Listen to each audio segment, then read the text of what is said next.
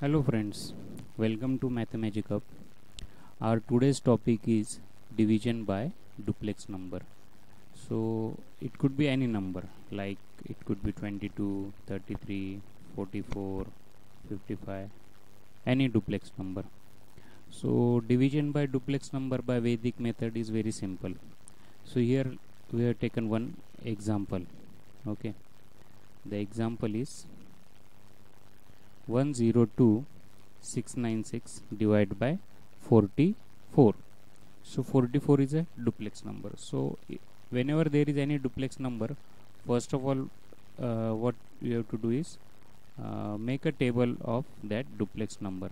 Making table is also very easy. You don't need to learn the table. So here I have written 44 then make the double of this. Double of 4 is 8 double of 4 is 8 then on right hand side 4 into 3 is 12 so here we write 2 again 4 into 3 is 12 and the carry was 1 so 13 then 4 into 4 is 16 carry was 1 so here 17 4 into 5 is 20 so 0 carry is 2 and so here becomes 22 like that you can make the table.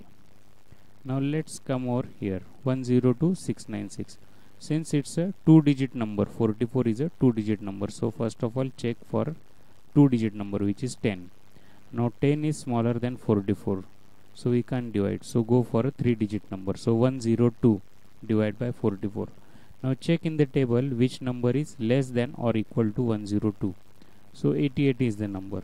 So 44 into 2 is 88 so our quotient will become first 2 so 102 minus 88 we get 14 and the next number is 6 so 146 now check in the table which number is less than or equal to 146 so it is 132 so 44 into 3 is 132 so our quotient will become 3 now 146 minus 132 gives us 14 which is a smaller number than 44 so the next number is 9 so our number becomes 149 now again check over here in the table which number is equal to or less than 149 so it is again 132 because 176 is also bigger number.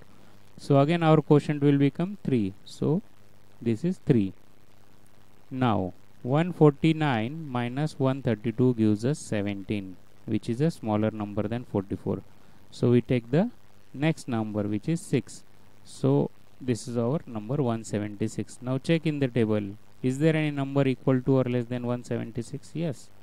There is. 44 times 4 is 176 so our quotient is 4 so we get 176 so remainder is 0 and our answer is 2334 so by this method you can in a single line find the answer of any division by duplex number so same is for 22 33 88 you have to make first the table and keep on checking which number is less than or equal to the number.